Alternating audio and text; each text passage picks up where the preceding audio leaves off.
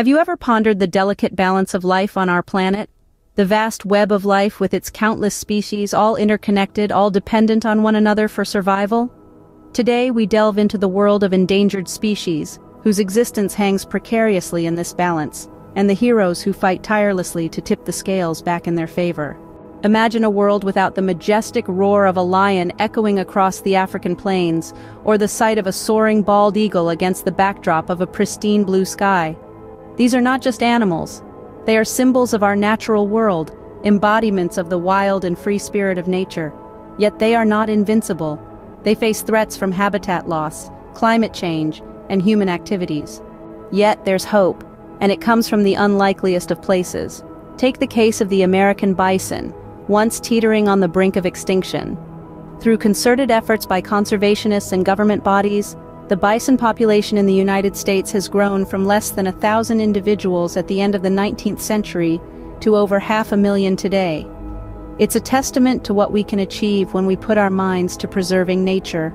Across the globe, in the rainforests of Costa Rica, another success story unfolds.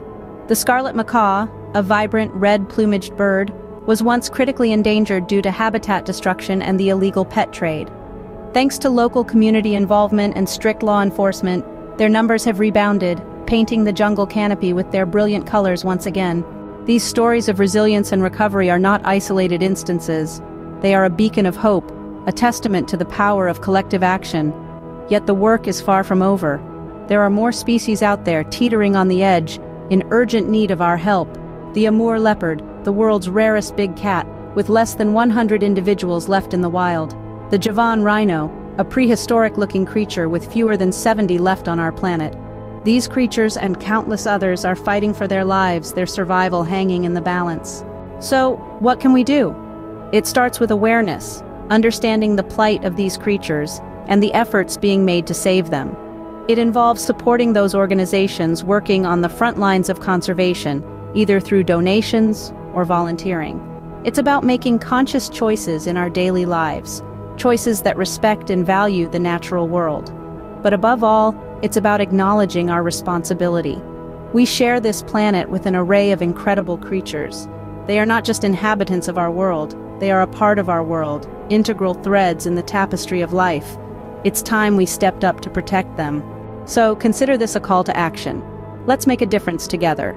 For the love of our planet, for the love of these magnificent creatures, and for the love of future generations who deserve to inherit a world teeming with life. So go ahead, lend your voice, your hands, your hearts to this noble cause, because every effort counts, and together we can ensure that the roar of the lion, the flight of the eagle, and the charge of the bison continue to echo across our planet for generations to come. Thank you for joining this journey. Remember, like, share, and subscribe to spread the word and join the fight for conservation because the fate of our planet's most endangered species isn't just in the hands of the few, but in the hands of us all.